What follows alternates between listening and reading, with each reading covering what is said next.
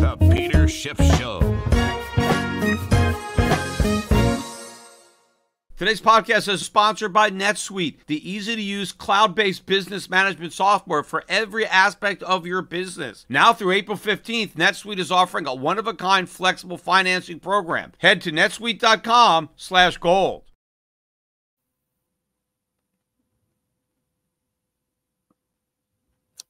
I see a timer. I don't hear anything. All right. Apparently, I am live. Sorry about the delay. We had some technical difficulties, and apparently, those technical difficulties haven't even been ironed out yet. But uh, hopefully, I am talking and everybody is listening.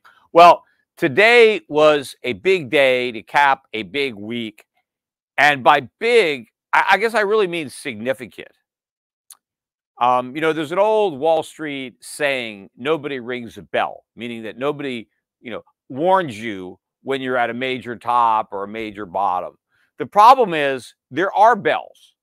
It's just that people don't recognize them. They don't hear them. They don't know what to listen for.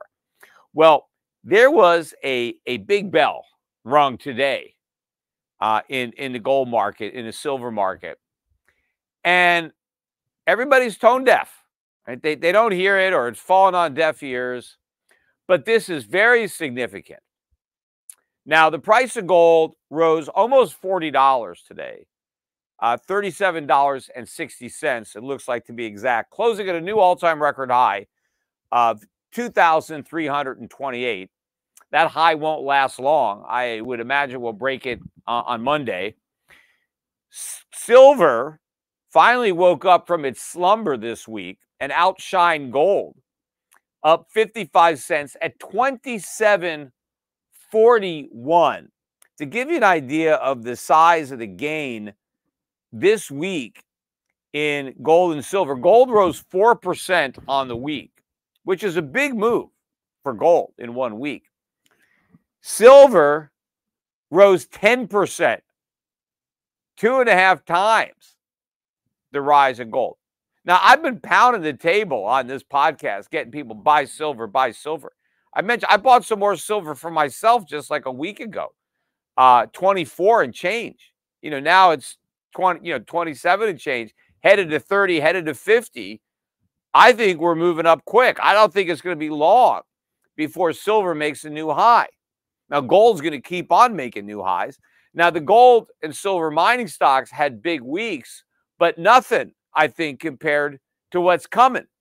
The uh, GDX was up 7% on the week, and the GDXJ uh, was up 8%.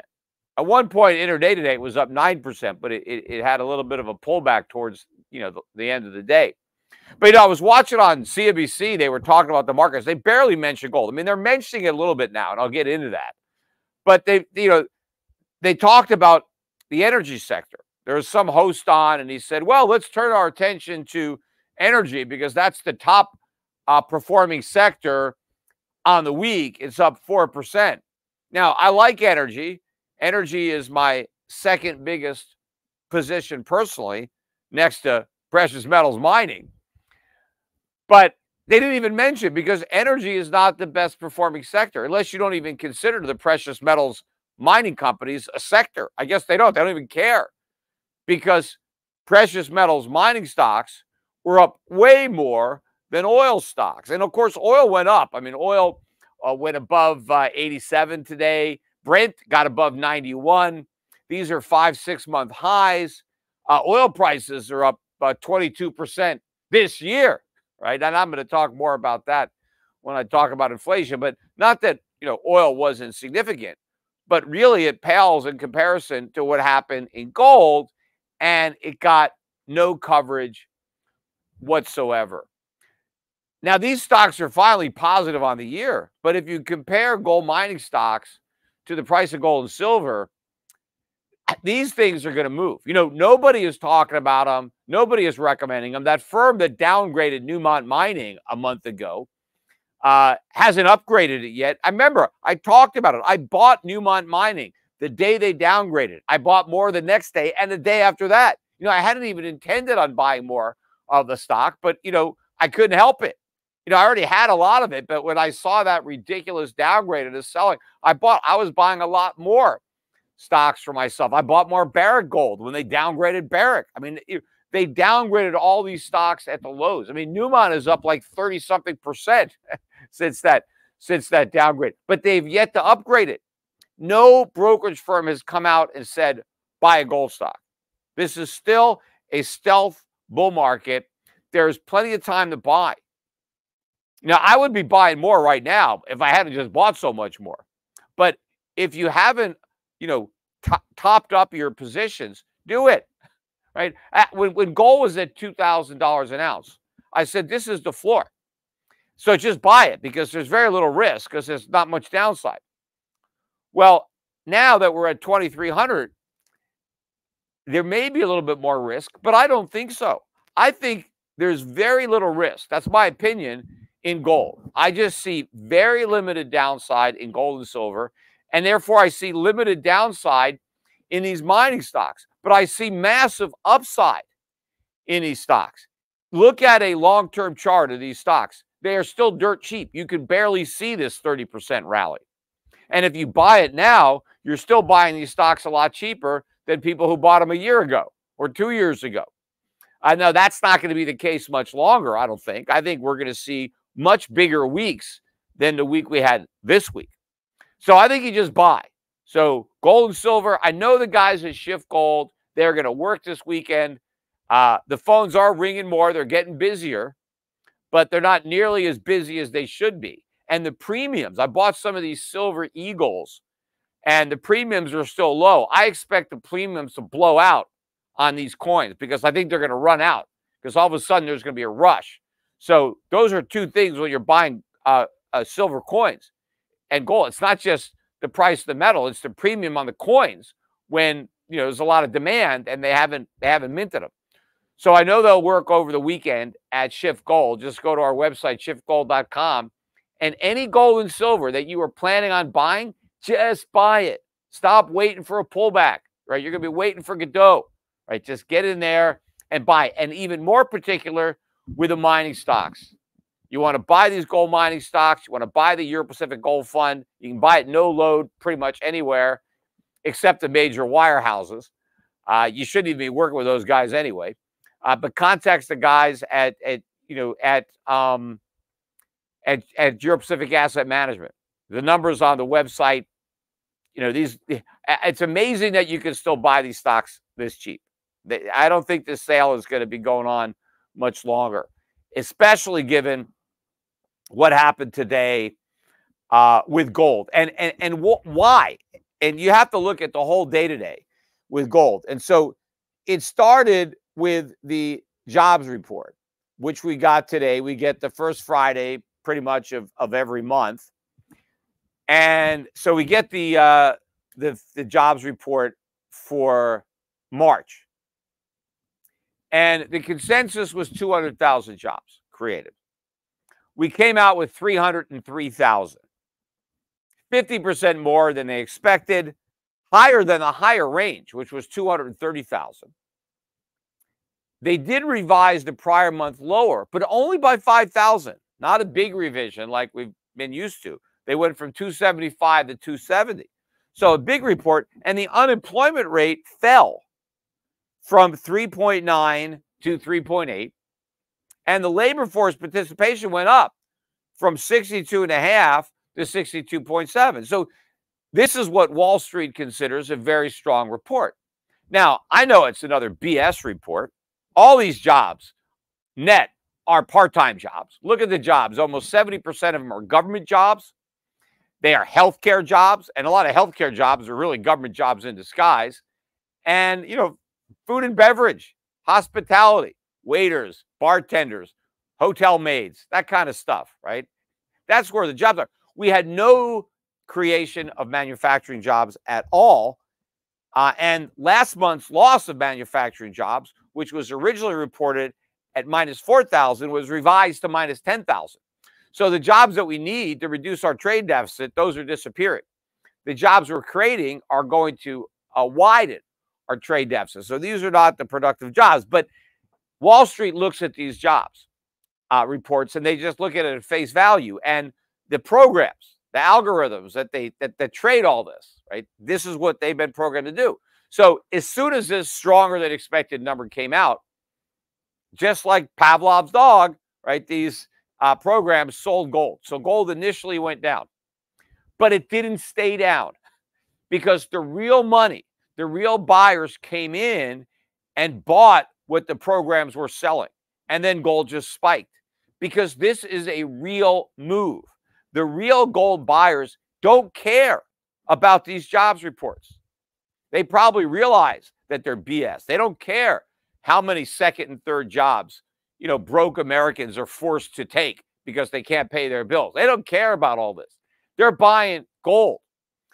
Bond prices got clobbered again today to end a horrific week for bonds, get setting up a bloodbath. The yield on the 10 year now back up to 4.38 and on the 30 year we're 4.53. So we're now closer to 5% than 4%. Pretty soon we'll be closer to 6% than 5%. Now, in the past several years, gold got killed when yields went up. Gold got killed on a strong jobs report. Not now. Gold went up. That's why I don't think there's much risk in the gold trade. Because believe me, if we had a weak jobs report, gold would have been up a lot more than $37. So, in my opinion, it doesn't matter what the numbers are. Gold's going up no matter what. It's just that it'll go up even more on weak economic news than on strong economic news. But whatever the news is, gold is going up. Gold is being repriced. Central banks are increasing their gold reserves. They don't care. They don't care about the Fed at this point. They don't care how many rate cuts we're going to get this year. They don't even care if we get any rate cuts this year. None of it matters. Gold is going up no matter what. Now, the only thing that I think could cause the price of gold to go down is if the Fed hikes rates. And I think the probability of that is practically zero. I'm not, it's not zero because obviously anything can happen. And the Fed should raise rates. But I don't think they will, especially with an election coming up this year you know, and the longer they wait to raise rates, the more damage it'll do uh, to the Biden cap when they do hike rates uh, or to the markets. I don't think they're going to hike rates.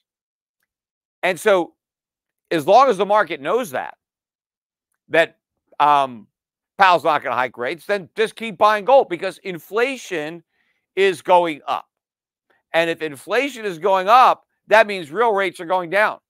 So if the Fed just stays where it is, and um and inflation keeps picking up speed, which it's doing, and the Fed's going to do nothing about it, well, that's going to erode confidence in the dollar. That's going to erode the value of the dollar. Plus, you know, we're on autopilot on the deficit spending. The sky's the limit. They keep passing new spending. Nobody cares about uh, cutting government spending. Biden doesn't care. Trump doesn't care. Uh, and so the holders of dollars are getting out and they're getting into gold. Uh, and this trend is going to accelerate. That's why I'm saying there's very little downside risk uh, as far as I'm concerned, yet there's massive upside potential. So this can't last. The prices can't stay this low much longer. Anyway, I got a lot more to talk about on inflation and the Fed. Got a quick commercial break. We'll be right back. Don't go anywhere. Here's some quick math. The less your business spends on operations, on multiple systems, on delivering your products or services, the more margin you have and the more money you keep. But with higher expenses on materials, employees, distribution, and borrowing, everything costs more. So to reduce costs and headaches, smart businesses are graduating to NetSuite by Oracle. NetSuite is the number one cloud financial system, bringing accounting, financial management, inventory, HR into one platform and one source of truth. With NetSuite, you'll reduce IT costs because NetSuite lives in the cloud with no hardware requirement, access from anywhere. You cut the cost of maintaining multiple systems because you've got one unified business management suite. You improve efficiency by bringing all major business processes into one platform, slashing manual tasks and errors. Over 37,000 companies have already made the move. So do the math. See how you'll profit with NetSuite. Now through April 15th, NetSuite is offering a one-of-a-kind flexible financing program. Head to netsuite.com slash gold. All right, so I want to talk about the elephant in the room, which is inflation that everybody is ignoring except the people who are buying gold. And you know, I mentioned earlier that now CNBC they do mention gold. You know, but just casually, they don't make a big deal about it. Hey, gold's going up. And every discussion about gold, they say, well, it must be because of the geopolitical situation. That must be driving gold. That's the assumption they make. I mean, they're clueless. They don't even want to consider for a minute that gold is going up because of inflation, because the rate cuts are a mistake, right? Because their rosy scenario of a soft landing and rate cuts and 2% inflation is all a pipe dream right? They don't they don't want to admit that, so they're trying to figure out why gold is going up because they want to hold on to this myth that they believe in, uh, which is great because as long as they have no idea why the price of gold is going up, right, it can keep going up, uh, and they're certainly not advising their viewers to buy it. They had nobody really coming on. They had people coming on. Anthony Pompliano on again today talking about Bitcoin. Hey, where was Bitcoin this week? Right, I mentioned gold up four percent silver up 10%. Well, the Bitcoin ETFs were all down um, 5% on the week. I mean, why is gold Bitcoin going down? If it's digital gold, why did it drop 5% when real gold was up 4%? I mentioned on my last podcast, Bitcoin never made a new high in gold. And you know what? It probably never will. It's probably downhill from here when it comes to gold. And again, silver was up 10% right? That's the new Bitcoin or, or maybe uh, mining stocks. MicroStrategy, the poster stock for the Bitcoin mania, down 16% on the week. Right? This thing is imploding because I think what's going to happen soon is a lot of the people who bailed out of gold at 2000 at 2100 at 2200 when we get to maybe 2500 which we could be at very quickly they're going to want to buy their gold back. They're going to have, you know, seller's remorse on gold and buyer's remorse on these Bitcoin ETFs. So they're going to want to go out, or maybe they're going to want to buy some gold and silver stocks that they sold so much lower. And so a lot of people that got into Bitcoin ETFs, they're going to try to get out. Operative word is try because they can't, not without crashing the market. You see, when all this buying came into the Bitcoin ETFs, there was plenty of Bitcoin to sell, right? the the physical the people who own the actual Bitcoin, right? It's not physical, but they own the spot Bitcoin. They sold to the ETF buyers. So now what is it? Three, four, five percent? I'm not sure, but a large percent of all the Bitcoin that exists are now sitting in these ETFs in very weak hands, right? They're not diamond hands. These are paper thin. And I think when all of a sudden they want to get out, you're not going to find real buyers in the spot market at these prices. Maybe, you know, 20,000, 10,000, someplace down there, some people will step up and buy. But you're not going to find people dumb enough in the real market uh, to pay these high prices like all the all the newbies did when they got into these uh, ETFs. So they're not going to be able to buy the gold stocks, right? Or they're going to be able to buy, you know, a much smaller percentage because the gold stocks they sold maybe will be up 50% or 100%. And the Bitcoin they bought is going to be down 50%, maybe more. So they're going to have a fraction of what they started with. They should have stayed in place, uh, but they got suckered into, you know, changing horses midstream. And now, you know, they're going to have to pay the price. But getting back to what I was talking about um, on, on inflation, look at the CRB. I put a chart up uh, I you know go to my Twitter and just scroll down and see the CRB. We're up now 17% on the year. It was flat last year. Same thing with oil. Oil was down 10% last year. It's up 22% this year, and we're only a quarter of the way through. How can anybody look at that and think we're going to have lower inflation in 2024 than we had in 2023? 2023, with oil down 10% and commodities flat, the CPI was up 4.1. In 2024, commodities are soaring. Oil is soaring. Do you really think we're going to have lower CPI? Of course not. It's going up. It's going in the other direction. The Fed should be hiking rates, but they can't. As I said, they'll cause a financial crisis. So they're not. So they have to come up with an excuse as to why they're not raising rates. So they keep talking about how inflation is contained, that they still think it's coming down. They're just not quite sure yet. They need a little bit more evidence. All the evidence shows that inflation is going up. So it's all BS. They're sticking to their script. That's why I said they're not going to hike rates. I mean, if the Fed hiked rates, it would be the biggest admission of a mistake. Because if the Fed hikes rates, what does that mean? That means everything they've been saying about how they believe rate cuts will be appropriate, uh, when are they going to start, all this stuff, they were wrong. They were completely wrong. If they hike rates, because they never talked about hiking rates, they never said that was a possibility. They all said it looks like we're going to be cutting rates because inflation is contained. We just want a little more proof, right? Before we before we do it, right? If they end up hiking rates, that is a major major admission that they got it wrong. But not only did they get it wrong by signaling to the markets that rate cuts were coming, they got it wrong by stopping the rate hikes. If they end up hiking rates in a month or two or three, that'll be a lot less effective than had they hiked them months ago. They should have kept on hiking. And so if they go back with a hike, again, the markets, I don't even know if that's going to work. I mean, I think gold will go up if they hike rates, but it's possible it'll go down. But it might even go up because of the credibility that the Fed is going to lose. And of course, they won't hike rates enough, right? A quarter point, big deal, right? If inflation is back at seven, 8%, and the Fed goes up a quarter point, that's nothing. I think to really damage gold, they're going to have to raise a couple hundred basis points. They're going to have to make up for all the hikes that they didn't have, right? Because they stopped. They were moving more slowly. They needed more hikes. We probably need 8%, 9%. Who the hell knows, right? An extra quarter is a spit in the ocean. Um, but the Fed is not going to do this. I just can't see it happening. They're not going to pull the rug out from other markets. I mean, the markets can handle, okay, the rate cuts are coming a little later.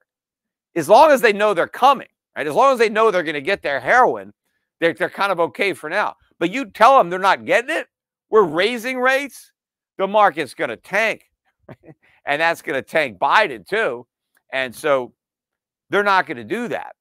So that's just you know it, you you got a clear path. They're they're waving the flags, right? Like the in baseball, like the coach is waving you to run home, right? The the, the outfielder drop the ball, right? You're going to score, right? I mean, pa, uh, Powell is basically waving you in buy gold, sell dollars, buy silver, right? buy these buy these mining stocks. Um, you know, a lot of people still think, oh, you know, Schiff is, you know, gold is still only mm-hmm. 2300 i mean these gold stocks yeah all that's true right? You could still say that i'm not right because gold's not high enough gold stocks aren't high enough that's fine.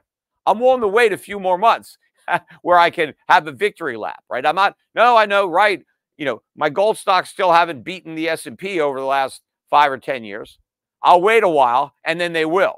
Right? at some point i'm convinced that i'm right because everything that i've been forecasting is happening. And all my critics, everything they've been saying, they, they got it all wrong. They don't even realize how wrong they got it. But another thing I wanted to say about the CRB, because you look at that chart that I put up there. Between 2004 and 2008, we had this big run in the CRB. And during that time, I mean, in fact, actually going back earlier, but Gold actually went up 5x from 2004, you know, or maybe 2002, because it was under 400 and it went to 1900. That was by 2011. I think by 2008, it was only at 1000. but that was still more than a triple.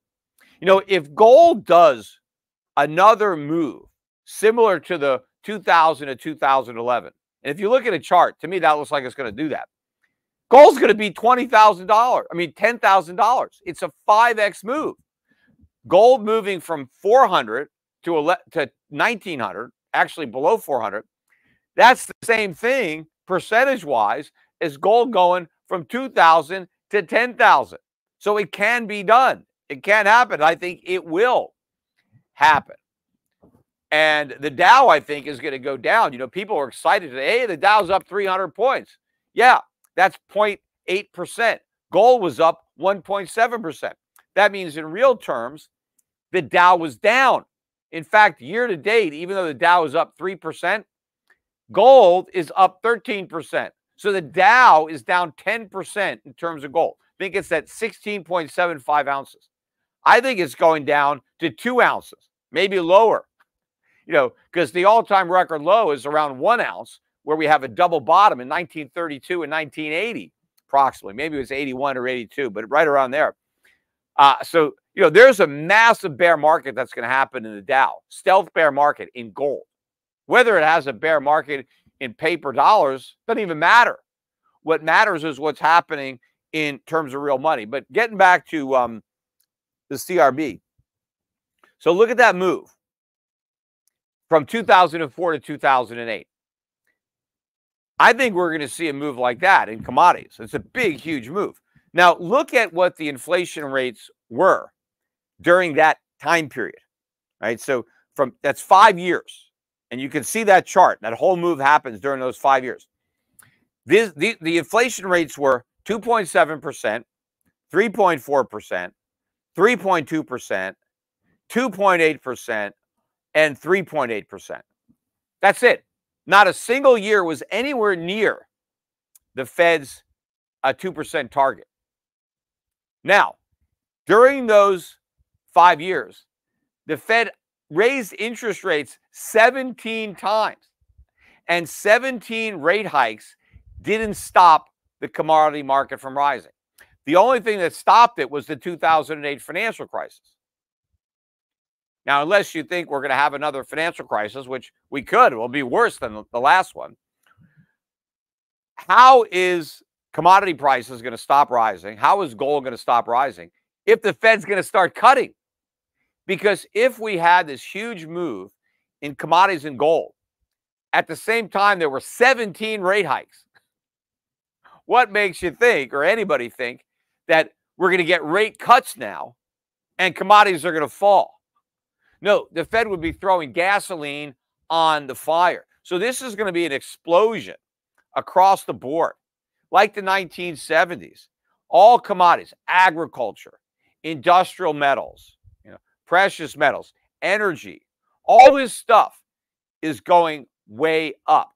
Now, how you can look at these commodity charts and and think that inflation is going down. I mean, headline inflation is going to go through the roof uh, based on what's happening here. It's only a question of time before the dollar goes through the floor. That hasn't happened yet. The dollar was up a bit today. Um, and, and, so that means gold was up even more in, in terms of other currencies. But the dollar didn't have a big rally. It did early on, but it, you know, it surrendered most of those gains. It initially spiked on that BS uh, jobs report. But the mainstream media is still clueless. They don't want to question the Fed and this nonsense that inflation is coming down to 2%. So they see all this evidence that it's not. Soaring commodity prices are evidence that inflation is not coming down to 2%. I mean, these rising commodity prices aren't going to cause the inflation. They're going up because of inflation, right? Gold is going up because of inflation and because of rising inflation expectations that everybody is denying. And so to me, again, this is all like 2007, 2008, when after so many years of warning about a problem in the housing market and the subprime market, it finally blew up and the mainstream were still completely oblivious. They were still t- holding to this Goldilocks, Greatest story never told. Everything is great. No problems as far as the eye can see. Uh, right up until the, the collapse of Lehman. This is the same thing. You know, we've had the equivalent of the subprime lenders going bankrupt and people thinking, don't worry about that, it's contained.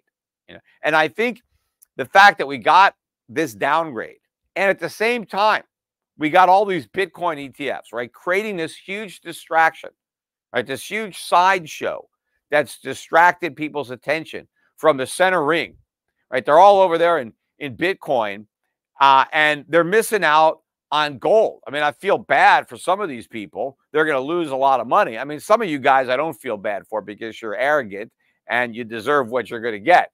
But, you know, it'll be a good lesson. But there are a lot of good people, unfortunately, that just really, you know, drank the Kool Aid.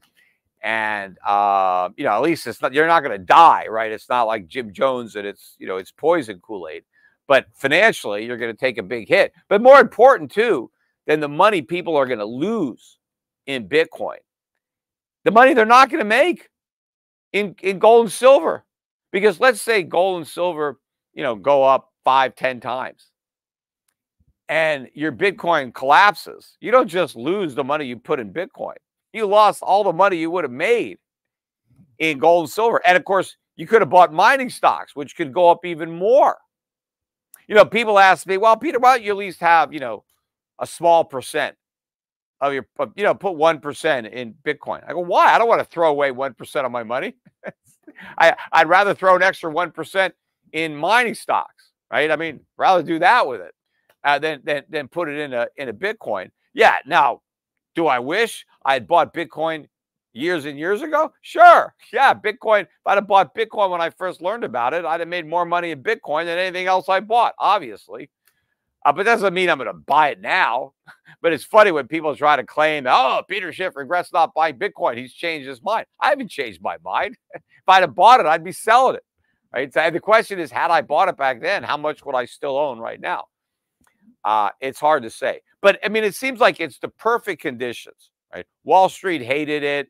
You know, it was dead. You know, downgrades to these big, big mining stocks on the lows, ignoring gold going up above 2000 Everybody looking at fool's gold, Bitcoin all this money, record amounts of money came in to these ETFs. I keep hearing people talking the most successful ETF launch ever. Yes, more money is going to be lost in these ETFs than any other ETFs in the history of ETFs. All this money that got in, it's never going to come out. It's going to money heaven. Who made the money? The people who were smart enough to sell their Bitcoin to these ETFs. And when I hear people talking about, well, BlackRock is buying Bitcoin. No, they're not. They're not buying it with their money. Their customers are buying it. They ain't buying it. They're not that dumb. They just created the ETF, uh, you know, because you know they, they want to make money off of their dumb customers. That that's all they did. You got all these people trying to fleece their customers or taking advantage of their ignorance. But no, because they're buying it doesn't mean anything. it's speculators are buying it. And soon they're going to be selling it. The problem is who's going to take the other side uh, of that trade. Anyway, I want to uh, mention I'm going to do a a Q&A after this um, this podcast ends. So I'm sure people have questions to ask me. Um, and you, in order to ask the question, you got to be, you know, you got to sign up for locals. Um, but, you know, what's happened, as I said, this is very, very significant. I think enough has happened to now really de risk my strategy. You know, nothing is is riskless. But based on what the market is doing, if if the gold's going to go up on news that normally makes it go down and go up even more on news that makes it go up. Because when we get bad economic news, the Fed's going to cut. I mean, I think as long as we get these good numbers, I doubt they're going to cut. They're going to maintain the pretense that cuts are coming. But I think they'd be afraid if they keep seeing um, oil going up and commodities going up and gold going up, and all this evidence that inflation is going up, it's really hard to cut. So I think what they're going to do is keep talking about future cuts like they're coming. We just need to wait and see. You know, we need to make extra sure, you know, that inflation is down, right? They're not going to admit that they realize it's going up, right? Because they can't admit that.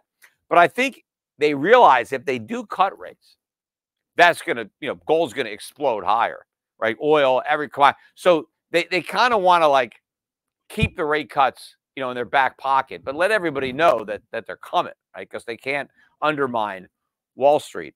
But if we start to see bad economic numbers from the perspective of the Biden administration, if we get to see some negative non farm payroll reports, if we see a meaningful uptick in um, unemployment, or if we see some big banks blowing up, right? Because you know the longer they re- refrain from cutting rates, the more pressure they put on these insolvent banks that hold all this underwater paper.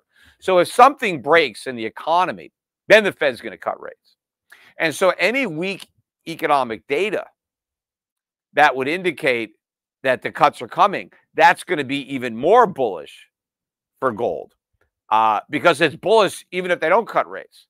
But if they're forced to cut rates, that's even more bullish because that means real rates are going to fall even faster than they will if the Fed just stays pat. Uh, so, based on that scenario, it's like, where's the downside? I don't see it.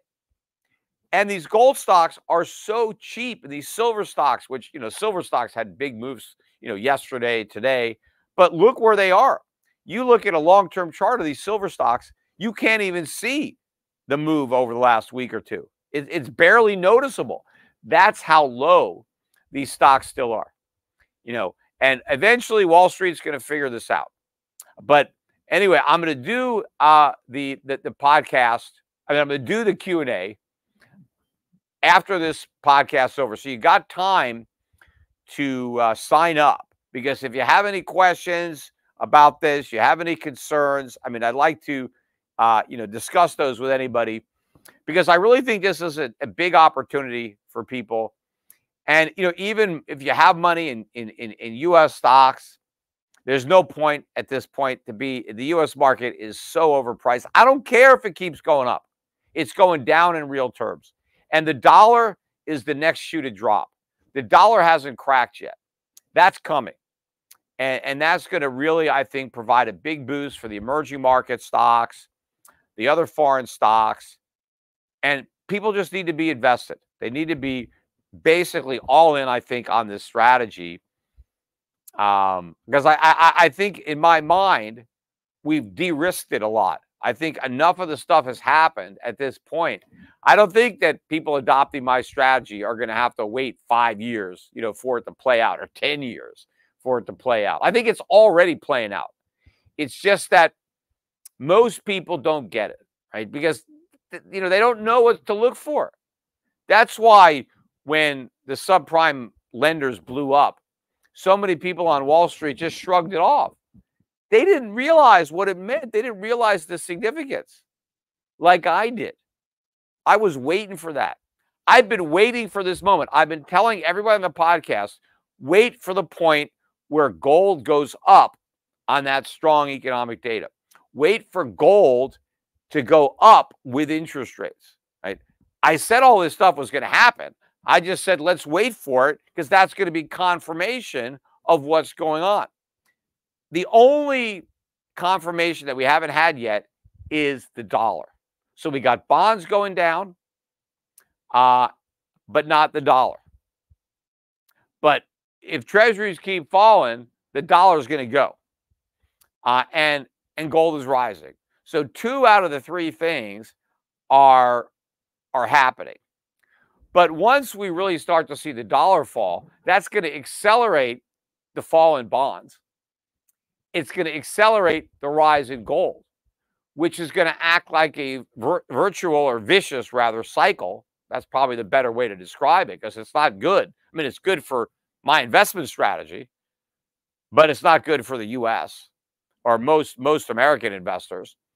But as inflation gets worse and the Fed doesn't hike rates, uh, that just accelerates it. And of course, the government is not going to do what it's supposed to do, which is cut spending. In fact, one of the other major mistakes that Powell and the Fed has made is their failure to criticize the government. Powell, you know, wants to pretend that, oh, I'm doing my job. I got to stay in my lane. I can't talk about fiscal policy. I just got to take it as I get it, right? Whatever they want to pitch me, I'm just going to swing at it, right? I don't care, right? Where that ball is, I'm just going to swing at what I get, right? That's a mistake. He's got the biggest podium out there to chastise the government and tell the government, look, you got to cut spending. You can't keep running these deficits. You're going to blow up the dollar. You're going to blow up the bond market. We're going to have runaway inflation. That's what Powell should be doing. He's got the bully pulpit as the Fed chairman. Instead, he is a wimp. He is afraid to speak up. So, oh, I can't talk. Go look at what Paul Volcker said. He yelled at Congress. He told these guys, you guys have got to cut this spending. Otherwise, we're in trouble. I can't do it just with rate hikes. Powell is afraid. He's afraid to hike rates and he's afraid to criticize the politicians who won't cut spending, who are running these deficits. Look, here's Biden. He goes down to Baltimore, you know, where that bridge, bridge collapsed. Oh, we'll pay for it. The government will just, federal government will come in, we'll cover those costs. With what money? Government is broke. They have to go borrow more money, cause more inflation, right? We're sending more money uh, to the Ukraine. We have more government spending, forgive more student loans. Right? We're doing the opposite of what we need to do. Powell should be criticizing every one of these uh, fiscal policy mistakes, but he doesn't do it. Oh, the Fed is independent. Yes, it's independent so it can criticize the government. That's the whole point of independence. See, he thinks it's a two way street.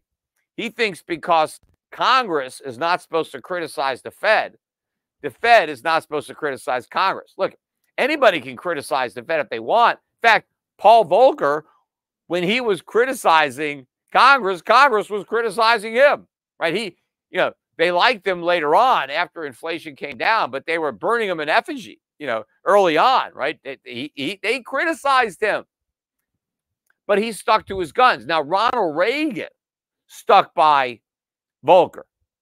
Even as some of the senators and congressmen were critical, Reagan stuck by him. And that was one of the good things that, that Reagan did. But even if Reagan had, you know, had, had thrown him to the wolves, he would have stuck to his guns.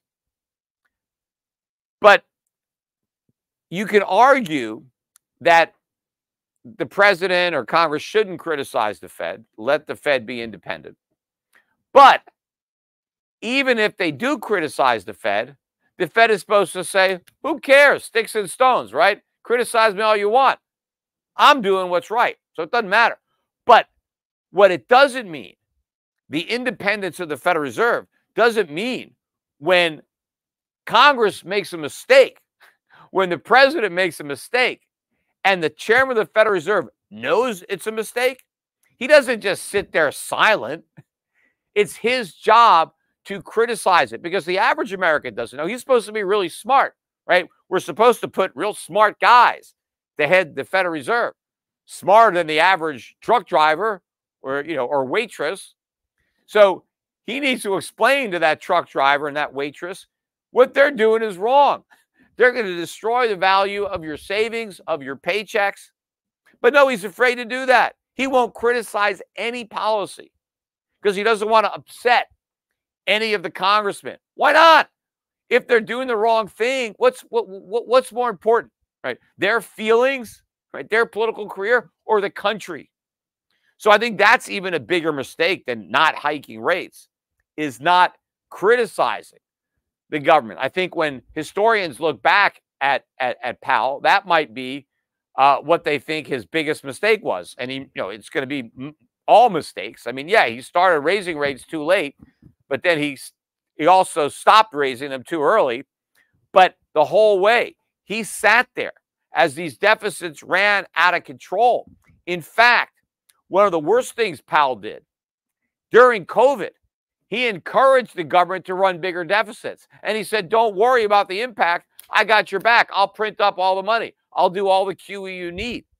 That was a huge mistake to have in, in, encouraged that, to have enticed the congressman into doing that. What he should have said is, look, you guys better not blow up these deficits during COVID because I ain't buying these bonds and interest rates are going to soar. That's what he should have said. He should have been independent, not cooperated, right? Let them know, hey, there's going to be consequences if you do this. Instead, he said, there's no consequences. Well, if there's no consequences, well, they're going to do it. They're going to hand out free money. They're going to buy votes if the Fed chairman says, go ahead and do it. Well, as I said earlier, back then, he was telling Congress, just run big deficits. I got your back. Well, now he's telling you, buy gold. I got your back, right? Buy silver. Get out of the dollar, right? You got nothing to fear from me, right? At the Fed. Um, and, and so listen to him, listen to me. And, um, you know, I know I was saying this, you know, I'm telling the last couple of weeks, just buy, just buy. And some people did. But a lot of people were like, ah, we'll see, we'll see. This, this, this is big. This to me looks different based on the way gold is acting, the way silver is now finally uh, waking up from its coma, uh, and, and and the reaction that we're getting in the media and the professional investors. I mean, they're going to get in. Eventually, they're going to start talking about gold. It probably will be three thousand dollars an ounce before they start saying, "Oh, maybe you should buy it." Silver will clearly be back above fifty. Uh, these gold stocks could be double or triple where they are, and they might start talking about it. But I think we still have a while uh, before the mainstream, you know, actually puts its toe in the water, and then we'll get another short rally, bigger spike, and then maybe we'll get a correction. You know, we're not we're not going to be without a correction, but I do think that the corrections will be pretty pretty small, pretty shallow. Again, maybe a little bit deeper than what we've had when there's no real retail people around or no big money. I mean, wait till the pension funds get in. Wait till the endowments get in.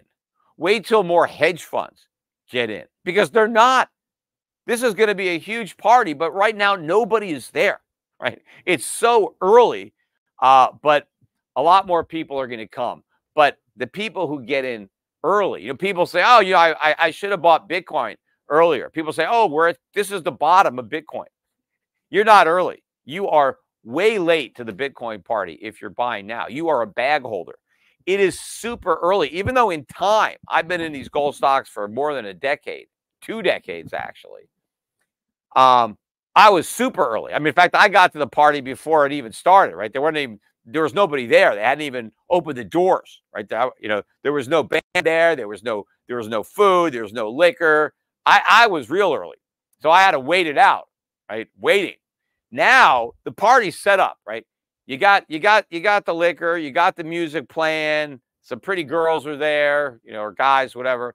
Um, so the party is starting you know, to, to, get fun. But there's very few people there, right? You got plenty of room. So uh, more people are going to start to come in as they start to notice how much fun we're having at this party, right? We're making all we're making all this money, I think, and uh, so that's going to make the party very interesting. And people who are at the Bitcoin party and that party goes sour, right? Basically, they're raided by the cops. The pretty girls have left to come to the gold party. Uh, they're going to want out, and even the people in the tech party that's that's going to poop, and they're they're they're going to want to uh, look for something like you know, like at the at the casino. You go to a casino, and if one crap table, you get a, a hot shooter, and he starts rolling numbers, and people are making money, and they're applauding. What happens? The people come to that table from the other tables. They want to be part of that action, right? Because they see, they hear what's going on. Well, that's going to happen. There's not that many of us at that gold party right now, so we're not making a lot of noise. but it's going to get noisy and it's going to attract a lot more buying. I'm just trying to get my people in uh, as soon as possible. Um, and yeah, I think the people that, that, that have been with me for many, many years, it's been a long wait. There's a lot of light at the end of this tunnel. And I think we're very close uh, to vindication. My guess would be by the end of this year, we could make up for all the underperformance relative to the S&P. And then going forward 2025 2026 2027 we're going to kick the crap out of the s&p in these resource stocks mining stocks foreign stocks you know just like these stocks did in the 1970s only i think this time the outperformance margin is going to be even higher so anyway i'm going to take about a 10 minute break and then i'm going to come back uh, and um, and start up uh, answering your questions. I'm sure people have a lot of questions now about what's going on. So you want to ask me these questions, and I'll stick around and answer them uh, at you know Schiff Radio Premium. Uh, so sign up. You got 10 minutes if you're not already signed up. If you're signed up, then you know you're ready to go. But anyway, that's it for now. If you like the podcast, give it the thumbs up. Put a comment on there. Let me know you like it. Let YouTube know you like it, so the algorithm kicks in. I hope everybody has a great weekend.